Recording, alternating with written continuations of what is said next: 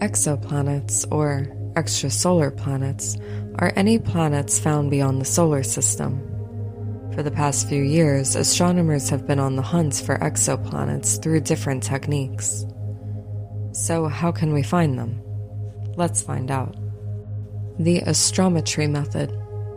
Astrometry is the most ancient method of searching for extrasolar planets. As early as 1943, astronomer Kai Strand of Swarthmore College's Sproul Observatory announced that his astrometric measurements revealed the presence of a planet orbiting the star 61 Cygni.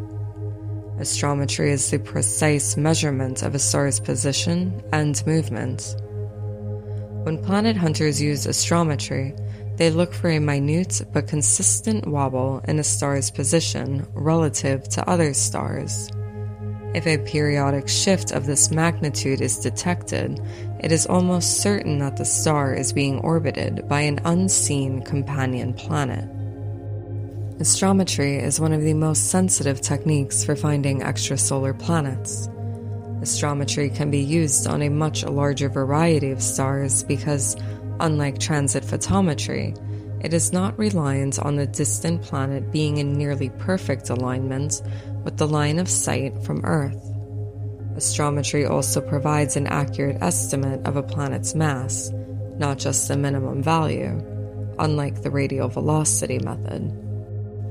Extrasolar planet discovery via astrometry is extremely difficult, so difficult that it has yet to be accomplished perfectly. It requires a level of precision rarely achieved even with the largest and most advanced telescopes.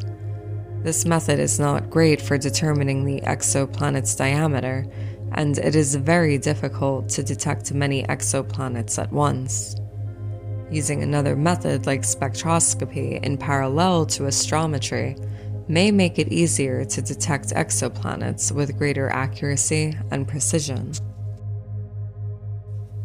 Thank you for watching, and please subscribe to the channel.